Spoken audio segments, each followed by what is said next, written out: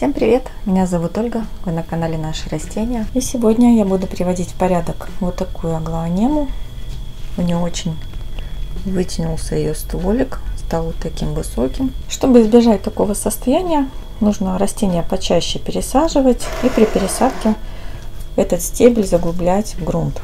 Но если случилось уже вот так, как сейчас, то здесь уже необходимо применить обрезку растения. Растение находится у меня дома уже 6 или 7 недель. Я его подкормила удобрениями и уже начали расти более здоровые крупные листики. Поэтому я думаю, обрезку она перенесет легко и легко даст корешочки и новые отросточки. Начну я с обрезки самых верхушечек.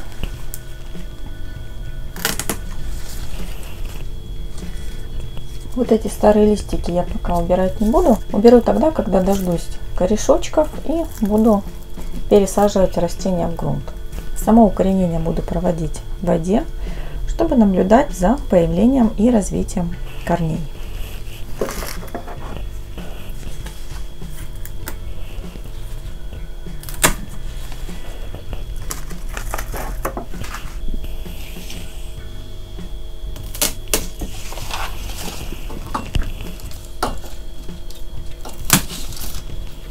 Вот здесь стебелек еще небольшой, обрезку я делать не буду. Когда буду пересаживать растение, немножко его заглублю и покажу, как это сделать.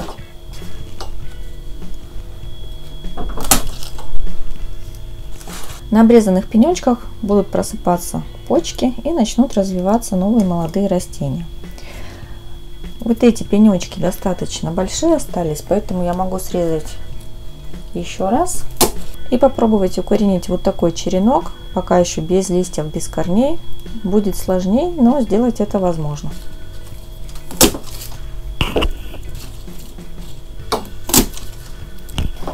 Здесь остались несколько растений у меня, которые обрезать не нужно, но которые нужно будет отсадить от этих пенечков либо вместе с пенечками потом пересадить, либо если нужен большой куст, можно прям вот таким образом взять и пересадить его в более крупный горшочек, и от пеньков потом пойдут новые отростки и будет очень-очень пышно. Но мне кажется, здесь достаточно много уже получится растений, потому что 4 уже сейчас готовых, плюс у меня получилось 1, 2, 3, 4, 8 пеньков. Даже если каждый из них даст по одному новому ростку, конечно, это уже очень много. Поэтому пока я буду ждать появления корней на верхушечках, которые я срезала, возможно, за это время уже появятся новые отростки на пенечках, которые остались в грунте. И там уже я посмотрю, как их рассадить. Верхушечки я немножечко подсушу. Срез можно обработать активированным углем либо второй вариант, я ставлю это все в водичку и добавляю кусочки алоэ, чтобы это все не начало подгнивать. То же самое я сделаю со срезами, которые промежуточные у меня получились. Также немножко их подсушиваю и поставлю воду. Прошло 7 недель. Давайте посмотрим, что получилось с начеренкованными растениями. Так, которые были просто пенечки, без листиков. Первый вот начал только-только корешочки отращивать. У второго уже побольше появились. Видно, что наклевываются почечки, где потом будут прорезаться листики. Но пока здесь видно очень большие уже корни. Но пока мы не посадим грунт, этот процесс будет идти. Вот еще одна почка. Этот процесс идти будет очень медленно. Поэтому чем быстрее растение окажется в грунте, тем быстрее начнется рост листьев. Так, теперь верхушечки, которые я поставила в воду, они отсушили частично нижние листья, но зато уже вот какие корни. Тоже, видите, один и второй прям хорошо нарастили. А вот третий тоже только-только просыпается. Вот, в прошлый раз я оставила два таких стаканчиков. В одном было три верхушки и в другом. Но спустя неделю я решила один из стаканов пересадить в грунт и посмотреть, как будут развиваться растения в грунте. Вот они, все три эти растения. Достаточно неплохо прижились. То есть те два отличные, этот вот немножечко грустный, но тоже живой. Вот корни отлично в грунте наросли. Здесь сквозь стеночки горшочка это можно увидеть. Здесь и здесь.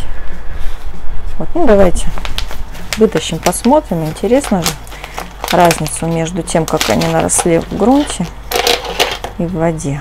Так, потревожим немножечко.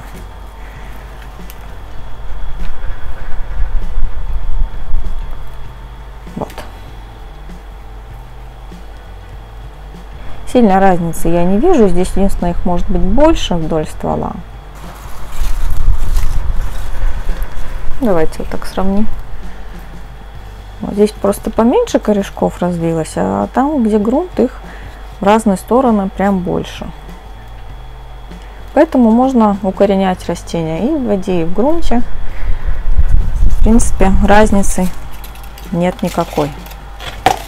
Давайте посмотрим, что происходит с оставшимся растением в горшке. Вот оно продолжает расти. Вот боковой черенок развился, уже выпустил два листа. В прошлый раз, когда я снимала, здесь только-только вот первый лист еще, по-моему, не был раскрыт. Вот уже раскрылось два, третий. Вот тут что-то из грунта уже выросло.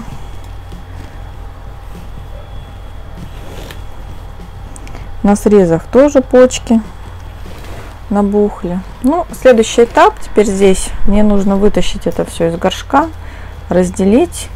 И теперь все это красиво в горшочке рассадить. Я вытащила растение из горшочка. Как-то меня спросили, какая корневая у агонема. Что вот он, у него она поверхностная, можно ли ее сажать в глубокие горшки. Посмотрите, какие она может нарастить корни. По-моему, сложно назвать это нежными, слабыми корешками, тем более поверхностной, корневой. Будь у нее возможность, она бы еще еще росла вниз. Сейчас мне придется ее делить. Деление это будет достаточно грубым. Я думаю, кто давно смотрит мои видео, уже привыкли таким методом. Сейчас освобожу немножко керамзита. Тут было очень много его внизу горшка. Корни будут ломаться, это однозначно. По-другому это растение просто будет невозможно разделить.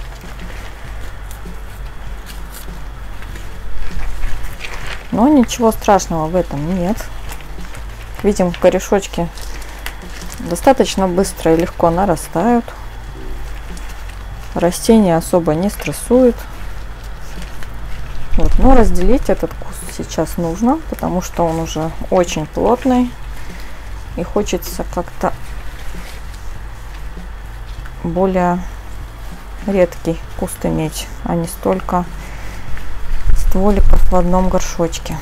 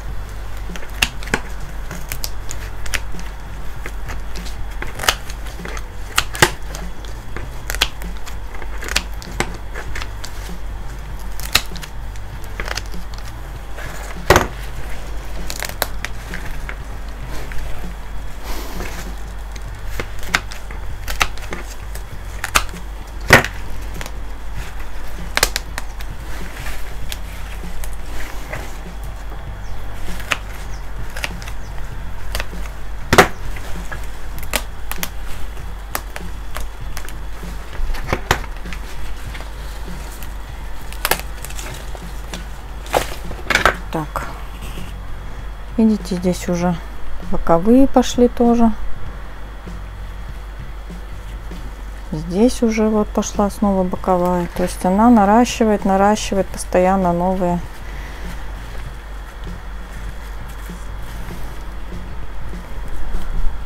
новые и новые. Так, здесь поломалась.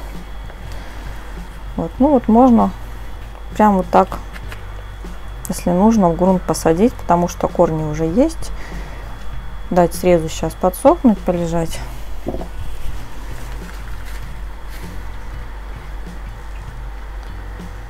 Так, можно отделить вот эту детку.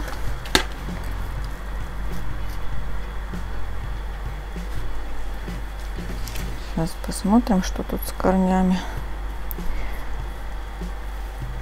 Грунт мокрый, мне пришлось его намочить, когда я вытаскивала, иначе было невозможно это сделать. Потому что глиняным горшкам растения бывают так прилипают корнями, что только смочив их водой, возможно как-то их вытащить оттуда.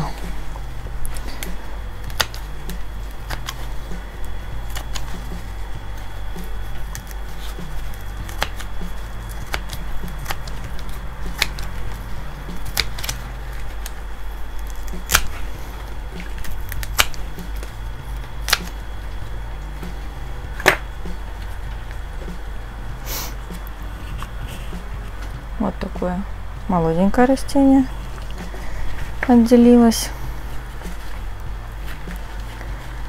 Ну и вот таким образом каждый ствол можно от другого отделять. Либо, если нужно, три посадить вместе, можно их вот так оставить. Либо дальше просто это все режется ножом, секатором, в том варианте, как хочется.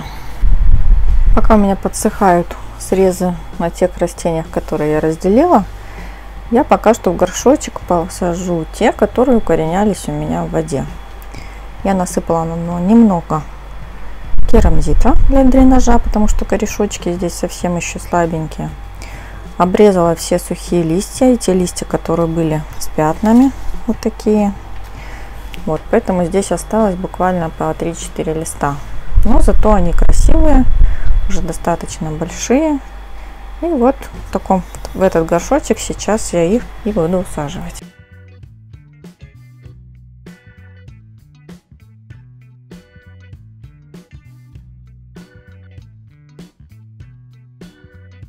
И вот такое новое растение у меня получилось. Да, сейчас оно гораздо меньше, чем то, которое было в самом начале. Но аглонема растет достаточно быстро. Здесь сразу три растения в одном горшке, поэтому как только у них развернется еще 2-3 листа, уже будет достаточно объемно и растение будет выглядеть гораздо-гораздо пышнее. Когда стволики длинные, усаживать гораздо удобнее растение, оно хорошо держится. Но если вам вдруг не нужно усаживать три растения в один горшочек, и горшочек следующий будет намного меньше, я имею в виду глубину. К примеру, вот это растение в одиночку я могла бы посадить вот в такой маленький горшок. И тогда у меня бы очень сильно из него торчал вот этот лишний ствол. Кому-то нравится, когда есть ствол, кому-то нравится, когда лист выходит прямо от поверхности грунта. Вот такая пересадка с делением, с размножением, с омоложением старого растения. Как видите, аглонему очень легко делить, черенковать, размножать. Бывает, конечно, такое, что черенки загнивают, но этого можно избежать, если использовать чистый инструмент. Если подсушивать срезы перед тем, как их укоренить в воде или в грунте, то в этом случае абсолютно проблем никаких не будет и все происходит достаточно легко и без проблем. Не забудьте пальчик вверх, если видео было вам полезно. А у меня на сегодня все. Я прощаюсь с вами. До новых встреч!